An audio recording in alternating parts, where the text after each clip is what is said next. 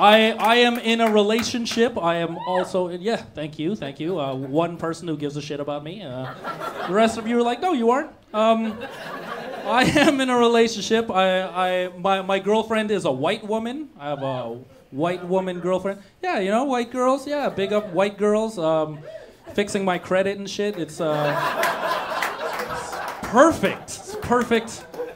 One of my friends, he's a colored guy too, and he was like, Paul, what's the secret to dating a white woman? What's the secret? I was like, step one, go home and binge watch all 10 seasons of Friends. I was like, that's your sense of humor now. Um, so go with that first. Yeah, that works. That works too. Sex in the City. Uh, um, my, my girlfriend's also French Canadian. She's a French Canadian girl. Uh, yeah, which is, which is awesome. But one thing that bothers me is that she always refers to me as her chum. No, which is French for boyfriend. She's always like, hey, voici mon chum, come here, meet my chum. Every time I hear it, I'm always like, ugh, chum. What a disgusting sounding word to describe the person you care about, right? Chum sounds like you walk into a room and you're like, oh, it fucking smells like chum in here. Let's get out of here. If you look up what chum means, chum means fish guts that you keep in a bucket.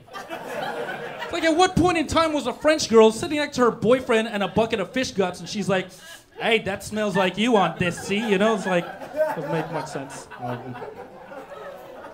I've been with my girlfriend for four years. We've been together for four years. Yeah. Yeah. And uh, we've lived together for the last two months. So uh, yeah, yeah, my life has been changing a lot recently. Yeah, I'm a lot more organized than I used to be. I don't just wear basketball shorts as underwear anymore. Um, but my masturbation schedule is all fucked up now. Um, I'm having trouble finding enough little hand-woven rice bag time with myself.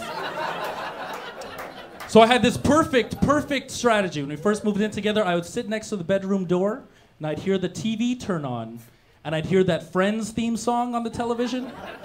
So at that point, I knew I had 22 minutes to go and masturbate to the nair, nair, nair, nair, nair, nair, nair, and I was like, sweet. Problem is, my girlfriend heard me say this joke, and she's very funny. So one night, she knew exactly what I was doing. She cranked that Friends theme song all the way up. She knew what I was doing in the other room. So she just started texting me pictures of my parents at the beach.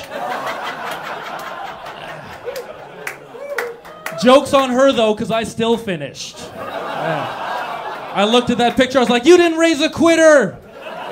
So no one told you that was gonna be this way. Pow, pow, pow, pow. Uh,